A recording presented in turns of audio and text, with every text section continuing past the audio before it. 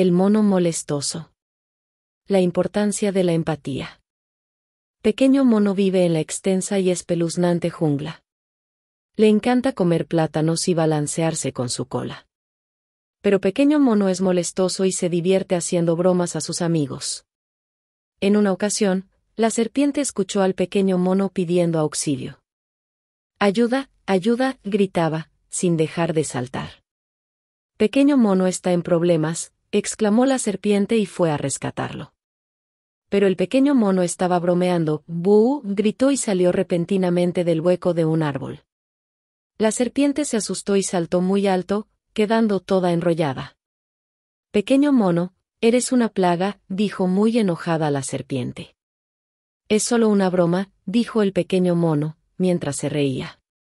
Más tarde, el león escuchó la voz del pequeño mono. Ayuda, ayuda, gritaba, tratando de no reírse. Pequeño mono está en problemas, exclamó el león, apresurándose para ir a su rescate. Pero se trataba de otra broma pesada del mono. Al intentar socorrerlo, el león cayó en un montón de espinas. Pequeño mono, Eres un desagradable, rugió el león. Es solo una broma, dijo el pequeño mono, burlándose. El mono travieso continuó haciendo bromas a todos sus amigos. Le gustaba deslizarse sobre el cocodrilo. Asustar al pequeño armadillo. Incluso amarró unas ramitas a la cola del tigre. Los animales, cansados de esta situación, decidieron reunirse a conversar de lo que estaba sucediendo, ya he tenido suficiente con las bromas del mono fastidioso, señaló la serpiente. Ya no quiero jugar más con él, dijo el león. No está bien hacer bromas todo el tiempo, agregó el hipopótamo, que también estaba enojado. De pronto, escucharon los gritos del mono. Ayuda. Ayuda. Estoy atrapado en el barro. Esto debe ser una nueva broma, exclamó el cocodrilo. Ya no volveré a caer en su trampa, dijo el armadillo. Pero esta vez, realmente. Él estaba en problemas. Pequeño mono, angustiado, esperaba y esperaba a sus amigos. Pero nadie venía a socorrerlo. ¿Por qué no me ayudan? sollozaba.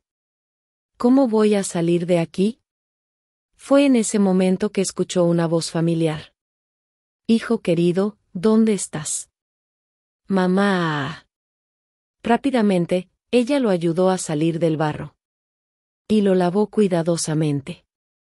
Ninguno de mis amigos vino a ayudarme, dijo pequeño mono, sintiéndose muy triste. Tal vez sea porque siempre estás bromeando y ya, no saben cuándo creerte, dijo su mamá. ¿Y querrán seguir siendo mis amigos? preguntó el pequeño. Si logras ponerte en el lugar de ellos, disculpándote con sinceridad, y les demuestras un cambio en tu comportamiento, lo más probable es que así sea, le explicó dulcemente su mamá. Más tarde, pequeño mono fue en busca de sus amigos y les habló. Lamento haberme burlado todo el tiempo de ustedes. Por favor, ¿me pueden perdonar y seguir siendo mis amigos? Agregó, arrepentido.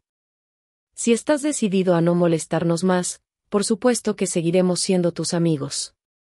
Así fue como los amigos volvieron a jugar y a divertirse todos juntos.